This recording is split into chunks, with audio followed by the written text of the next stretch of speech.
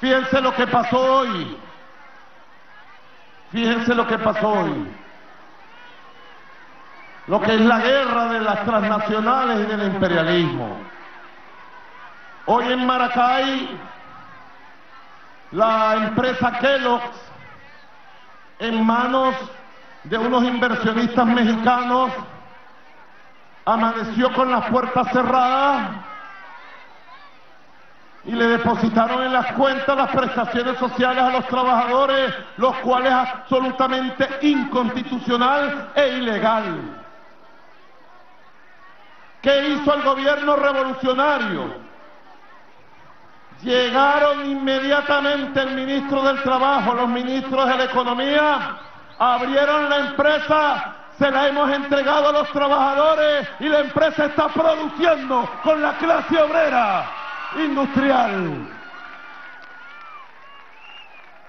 ¡Que viva la clase obrera!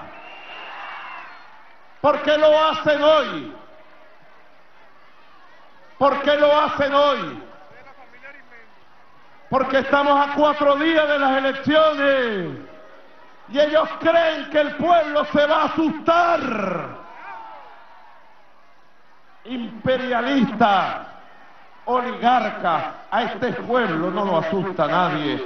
Y este pueblo tiene un presidente y un gobierno que lo protege y la empresa que los va a seguir produciendo ahora en manos de la clase obrera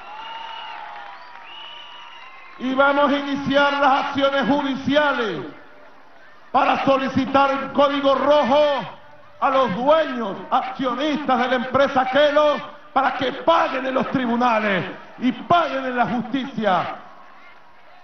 Tienen que respetar las leyes de Venezuela. Tienen que respetar a los trabajadores y a las familias de los trabajadores. A Luis García no le importa que tú te quedes sin empleo, te vota y punto. A esa oligarquía no le importa la producción nacional. A nosotros sí. Y a mí no me tiembla el pulso. Cuando fui informado en la mañana, inmediatamente di instrucciones para que se apoyara a los trabajadores legalmente logísticamente y la empresa continúe produciendo sus productos para el pueblo de Venezuela sin ningún problema. Y así va a ser. Eso lo hubiera hecho un gobierno burgués. Si un oligarca fuera presidente de Venezuela, apoyaría a la clase obrera.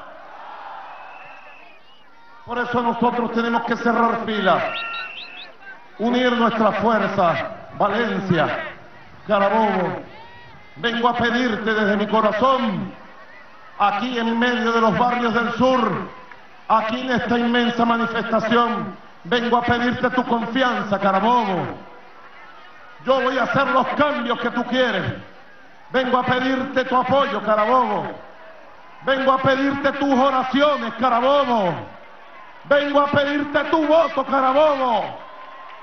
Vengo a pedirte que el domingo 20 de mayo en Carabobo más de 800 mil votos